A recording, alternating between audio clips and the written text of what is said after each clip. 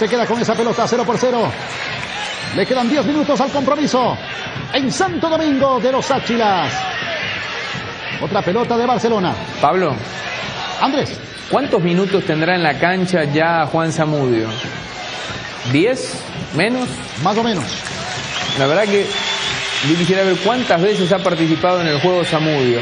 Y con esto no estoy responsabilizándolo a Zamudio de su poca participación, sino hablando un poquito de, de- lo poco que Barcelona eh, genera juego para un 9 como Zamudio. Tiene ciertas cualidades, algunos dicen que son cualidades limitadas para un 9 de área, un 9 cabeceador fuerte.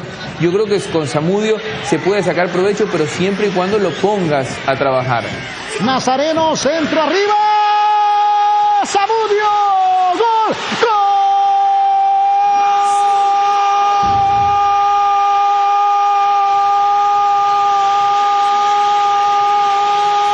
De Barcelona. El mágico Samudio. Gol canario, gol amarillo. Gol.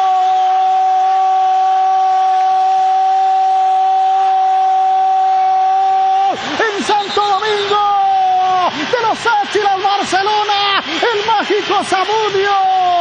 Segunda pelota que tocaba el mágico en el área. La tocó perfecta y marcó la primera. El centro por la izquierda y está la acción repetida. Y el mágico con una clase bárbara. Barcelona 1. Es policero, señores. Gana Barcelona en Santo Domingo de los Áchilas.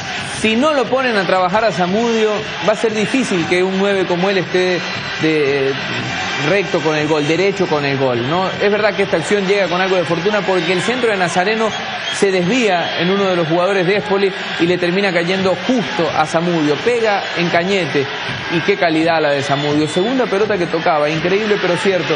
Es verdad, el delantero de Barcelona que fue relegado a la suplencia en un hecho que yo lo planteaba como un debate porque no estaba de acuerdo con la decisión de Job, termina dándole a Barcelona este gol tan buscado a lo largo de este partido. En el segundo tiempo Barcelona por superioridad en cuanto a posesión de pelota, donde planteó el partido, incluso numéricamente porque termina con un hombre más, merced a la, a la expulsión de, de Kenneth Arce, creo que hizo el trabajo suficiente como para buscar la victoria y la está consiguiendo con gol del mágico. Se reencuentra con las redes el delantero paraguayo del Barcelona.